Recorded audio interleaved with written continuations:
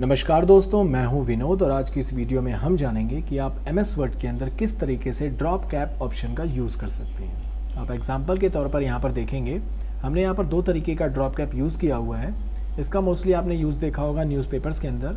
जो भी इंग्लिश के न्यूज़पेपर्स होते हैं, उसमें आपने ड्रॉप कैप का यूज़ देखा होगा।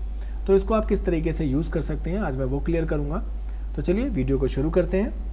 दोस्तों, अगर आपको हमारे द्वारा दी गई जानकारी अच्छी लगे तो हमारी वीडियोस को लाइक करें और अपने सभी दोस्तों में इसे शेयर करें। किसी भी टॉपिक से रिलेटेड अगर आपका कोई क्वेश्चन है तो उसे कमेंट करें।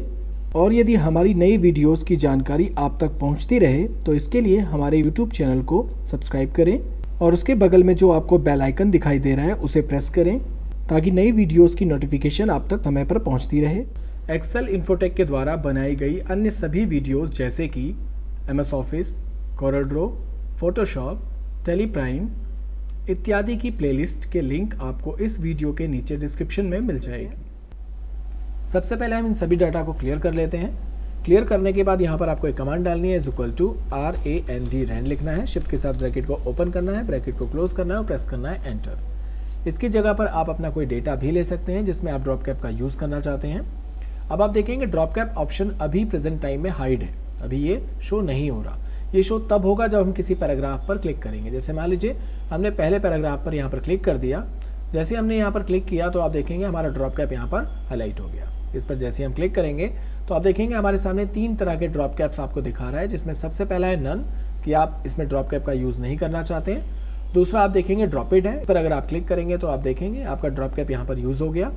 इसके बाद तीसरा ऑप्शन आप देखेंगे यहाँ पर इन मार्जिन है। यानी ये मार्जिन के हिसाब से आपका ड्रॉप कैप यूज़ होता है। तो सबसे पहले इस पर जैसे आप क्लिक करेंगे तो ये बेसिकली आपका ड्रॉप कैप यहाँ पर यूज़ हो गया।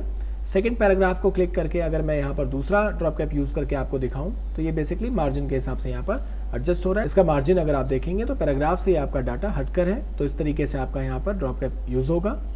इसके अलावा यहाँ पर नीचे की तरफ़ अगर आप जाएँगे तो यहाँ पर आपको एक ऑप्शन दिखाई देगा ड्रॉप कैप ऑप्शन का। इस पर जैसे आप क्लिक करेंगे तो वही तीनों ऑप्शन आपको यहाँ पर भी नज़र आएँगे। इसके अलावा इसके अंदर कुछ आपकी सेटिंग्स हैं जिसको आप अपने हिसाब से मॉडिफाई कर सकते हैं। जैसे मान लीजिए, सबसे पहले अगर हम बात करें फॉन्ट की तो यहाँ पर जो भी फॉन्ट हमारा अभी आ रहा है, उसका नाम है प्लस बॉडी इसके अलावा अगर आप फॉन्ट चेंज करना चाहते हैं तो इस पर क्लिक करके आपको कुछ फॉन्ट यहाँ पर दिखाई देंगे, जिसमें से आप किसी भी फॉन्ट का यूज़ कर सकते हैं। जैसे मान लीजिए, हमने यहाँ पर हेडिंग सी ले लिया। हेडिंग सी लेने के बाद हम यहाँ पर ओके कर देते हैं। ओके करने के बाद आप देखेंगे, इसमें हल्का सा चेंज आया है। मैं कोई दूसरा फॉन्ट लेकर के आपको दिखाता हूँ ताकि आपको इसमें चेंजेस समझ में आए। तो यहाँ से हमने इस पर क्लिक किया। यहाँ से हम कोई दूसरा फॉन्ट ले लेते हैं। जैसे मान लीजिए हमने यहाँ पर जूस करके एक फॉन्ट है, वो सिलेक्ट किया और जैसे ही हम यहाँ पर ओके प्रेस करेंगे तो आप देखेंगे फॉन्ट का स्टाइल आपका यहाँ पर बदल गया। कंट्रोल सेट करने के बाद हम पीछे चले जाएँगे और उसके बाद फिर से इसी ऑप्शन पर हम जाएँगे ड्रॉप कैप ऑप्शन पर। और नीचे की तरफ़ आप देखेंगे, यहाँ पर आपके सामने दिखाई देगा लाइन टू ड्रॉप अब इसका यूज़ कैसे किया जाएगा? तो इसका यूज़ करने के लिए हम पहले वाले ड्रॉप कैप पर आ जाते हैं। यहाँ पर आप देखेंगे, अभी फ़िलहाल हमने तीन पैराग्राफ्स का यहाँ पर ड्रॉप कैप का यूज़ किया हुआ है। अगर आप इसे कम करना चाहते हैं तो आप यहाँ पर जाइए ड्रॉप कैप ऑप्शन पर जाइए और यहाँ पर थ्री की जगह आप यहाँ पर टू कर दीजिए। टू करने के बाद जैसे आप इसे ओके प्रेस करेंगे तो आप देखेंगे आपका ड्रॉप कैप यहाँ पर सिर्फ़ टू लाइन को कवर कर रहा है थ्री लाइन्स को कवर नहीं कर रहा। तो यहाँ से आप इसकी सेटिंग्स को चेंज कर सकते हैं। इसके अलावा यहाँ पर नीचे की तरफ़ अगर आप जाके देखेंगे तो नेक्स्ट ऑप्शन है आपका डिस्टेंस फ्रॉम टैक्स यानी आपका जो ड्रॉप कैप है, वो टैक्स से कितना डिस्टेंस में होना चाहिए। तो यहाँ पर फ़िलहाल ज़ीरो लिया हुआ है। अगर आप इसे बढ़ाना चाहें तो मान लीजिए हमने यहाँ पर फोर ले लिया। फोर लेने के बाद जैसे हम यहाँ पर ओके प्रेस करेंगे तो आप देखेंगे इसका डिस्टेंस कितना ज़्यादा इंक्रीज हो गया।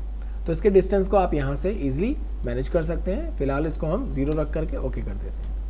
तो आपने देखा, इस तरीके से ड्रॉप कैप ऑप्शन का यूज़ किया जाता है। अगर आपको हमारा ये वीडियो पसंद आया हो तो चैनल को लाइक कमेंट शेयर ज़रूर कीजिएगा। धन्यवाद।